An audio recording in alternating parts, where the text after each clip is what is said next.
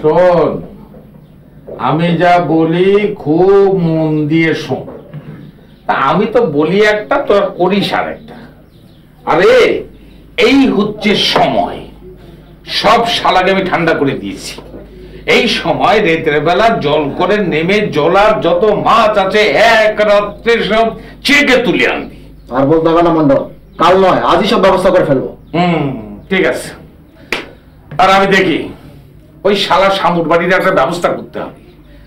ওর পেছনে আমি আর ঘুরতে পারব। কাকা। কে রে? গেস্টের বউ কমলা। তা তুই ওকে দেখে এত কেলাচ্ছিস কেন? হ্যাঁ?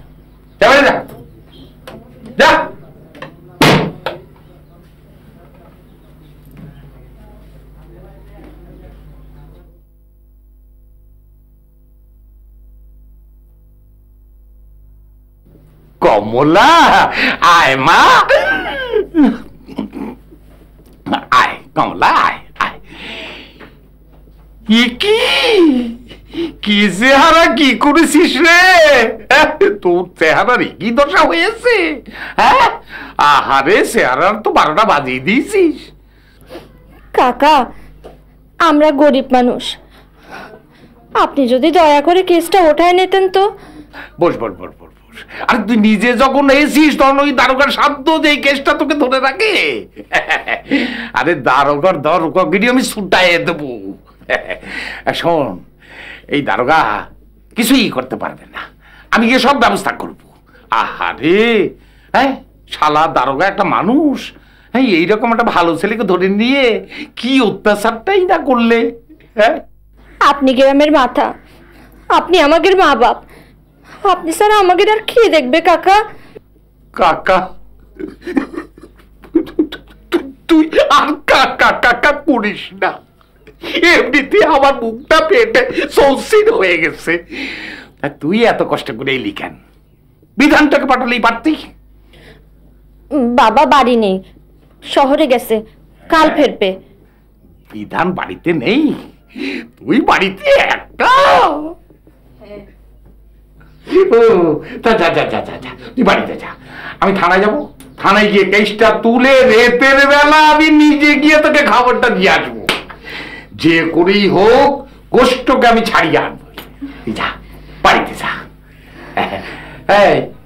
শোন। টাকা পয়সা হাতে কিছু আছে না দেবো? না টাকা পয়সা লাগবে না। লাগবে না? আচ্ছা। এসো। টাকা পয়সা লাগবে না। লাগবে না বললে কি হবে? আমি রেতের বেলা গিয়ে তুই না চাইলে তোর হাতে গুজে দিয়ে আসব। এই যে কত বড় শান্তি।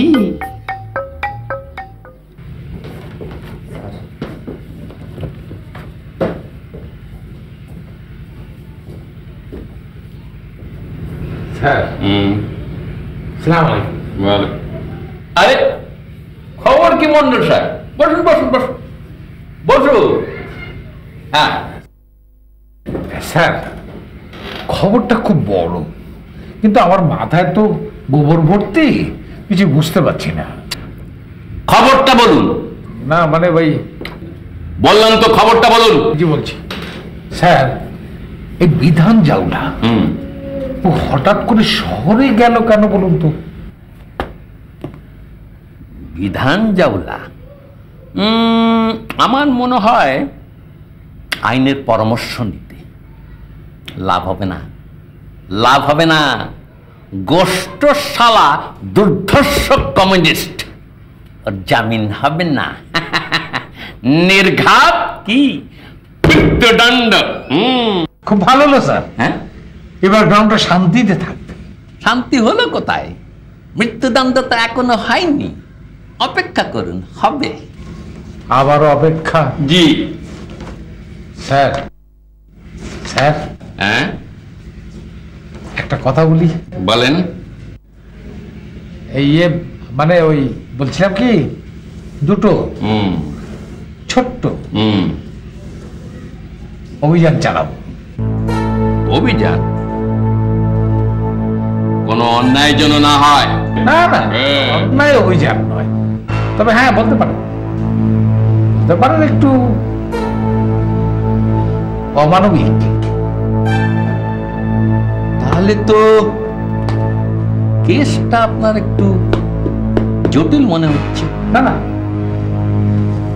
জটিল নয় স্যার। কেন? একটুই হালকা। ও আচ্ছা আচ্ছা বুঝি বুঝছি বুঝেছি ছাড়েন ছাড়েন বুঝেছি বুঝেছি। তা এই অভিযান দুটো চালাবেন কোথায়? একটা জলে একটা স্থলে। ও আচ্ছা আচ্ছা আচ্ছা। একটা জলে আর একটা স্থল। বুঝেছি বুঝেছি বুঝেছি। ঠিক আছে ঠিক আছে। এবার আপনি একটু আসুন। স্যার বলেন। স্যার। বলেন বলেন। হ্যাঁ? এটা আচ্ছা আচ্ছা আচ্ছা, ঠিক আছে ঠিক আছে। বাস বাস বাস বাস। হবে হবে। হ্যাঁ, আসেন মন্ডল সাহেব আসেন। এই যে আপনি কি বিধান জাওলা হ্যাঁ। আপনি কি স্যারের সাথে দেখা করতে চান? হ্যাঁ। যান।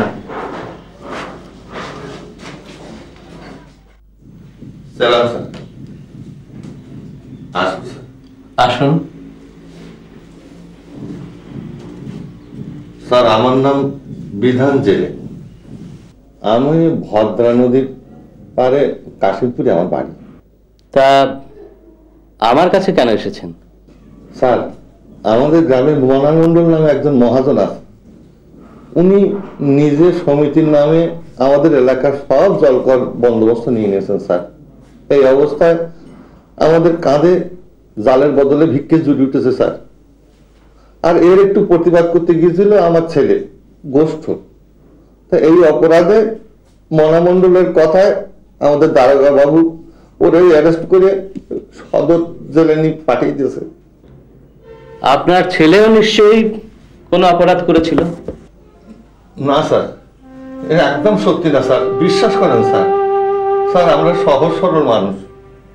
আমরা কষ্ট করতে পারি স্যার কিন্তু মিথ্যে কথা বলতে শিখিনি স্যার। আমি বাপ হয়ে বলতেছি স্যার আমার এই মা মরা ছেলেটা একদম নিরাপরাধ স্যার। স্যার আ- আ- আমরা পায়ে পড়ি স্যার। না না ঠিক আছে। আপনি আমার এই আমার এই ছেলেটার একটু ছাড়ানোর ব্যবস্থা করেন স্যার। বাড়িতে ওর পতি বউ স্যার। ঠিক আছে আপনি বাইরে বসুন। আমি খোঁজ খবর নিয়ে দেখছি কি করা যায়। আপনি বসুন।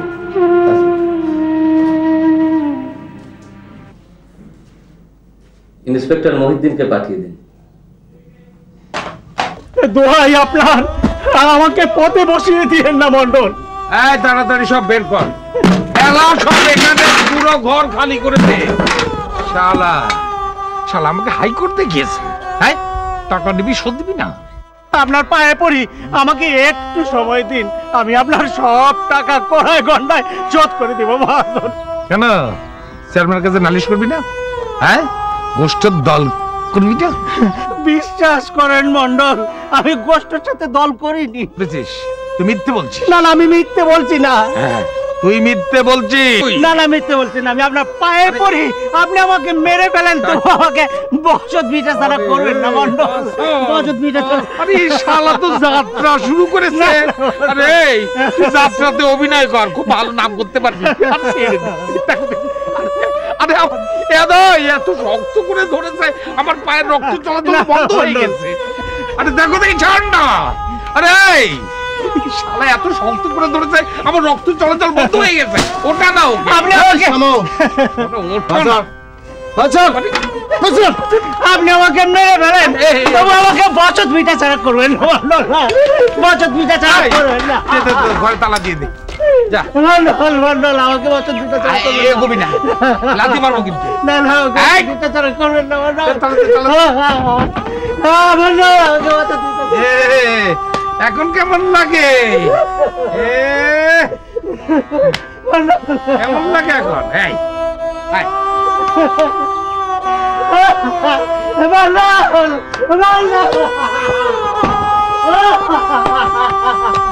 মিটা ছাড়া- এ, এখন কেমন লাগে এ, কেমন লাগে এখন এই এই, মন্ডল মন্ডল মন্ডল